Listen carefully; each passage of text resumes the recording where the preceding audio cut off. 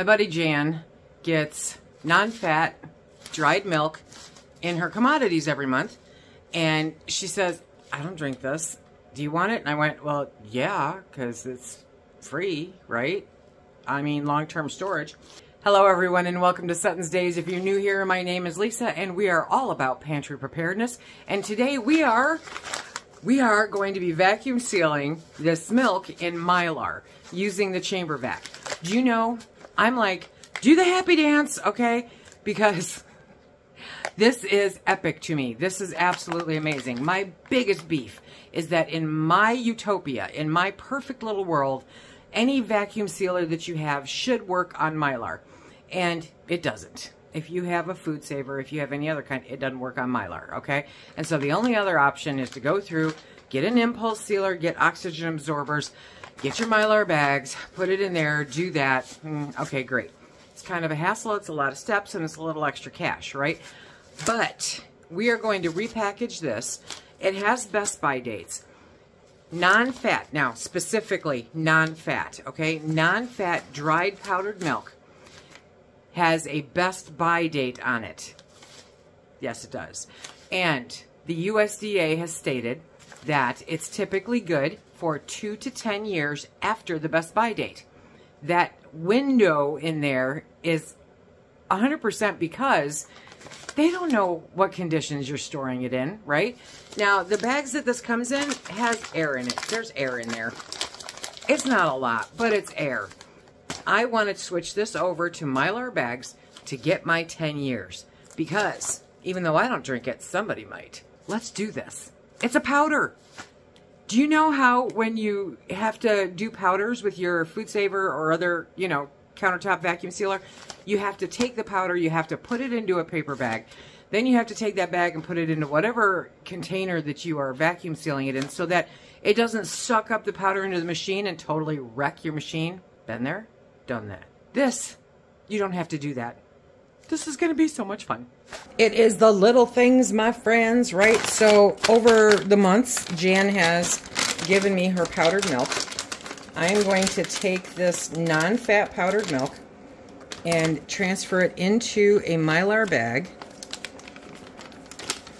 And then we're going to put it in the chamber vac. So there's probably 20 different ways to do this so that you don't make a mess. And I just managed to come up with 21. So it's in the Mylar bag. Okay.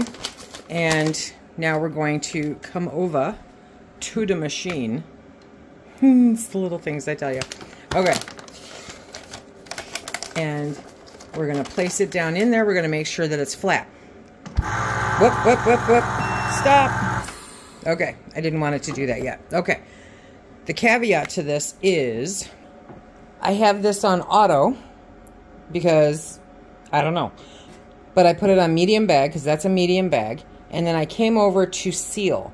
Now, the default on this is that it's at four seconds. I increased it to eight seconds for the Mylar because that gives you the stronger uh, seal, okay?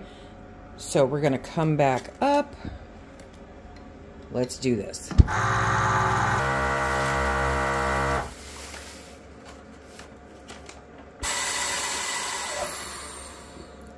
That will never get old. Okay, so now we're going to open this up. And that is completely airtight. And there's the seal. And it goes all the way across. So excited. So what you have to make sure to do is to increase the time on that seal. And you can do Mylar in your chamber vac. This right here is a game changer because I hate having 14 tools to do one job. And sometimes that's just what we have to, that's just what we have to put up with, right? But with this, I can eliminate the food saver, which I did. I can eliminate the, the impulse sealer, that's next. I mean, that's just fantastic. And I just have this one thing. And it doesn't suck the powder up. There's not all these hoops that you have to go through in order to vacuum seal your powders. It's fantastic. One of, I think, my favorite parts about this so far has been that it's it's a hands-off process. You put it in there, you close it, it does its due. You don't have to hold it down, you don't have to babysit it. And so I'm able to package things up.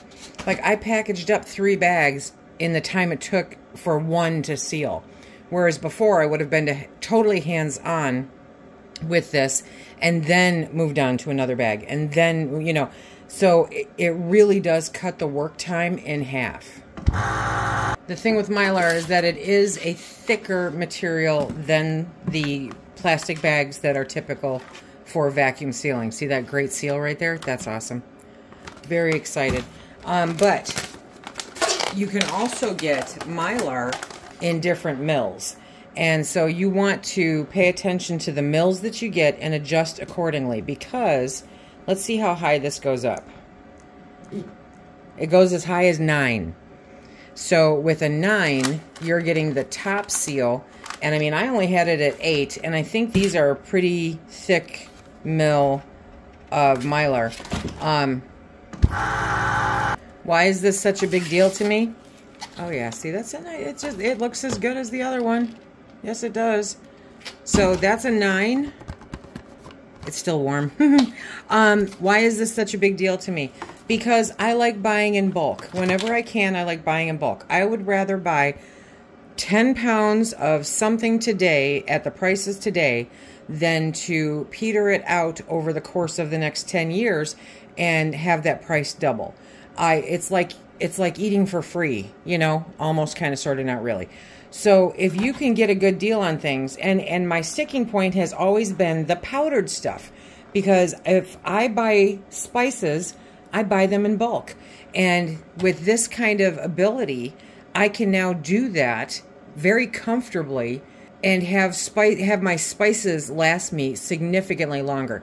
Because the biggest issue with spices is that if they're not vacuum sealed like this and put up properly, they lose their efficacy. They lose their pungent flavor, okay?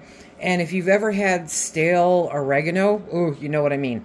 Doing something like this means that I can, even if it's what I grow myself, I can grow it, I can dry it, I can vacuum seal it in mylar and put it up and know that it's good for years to come.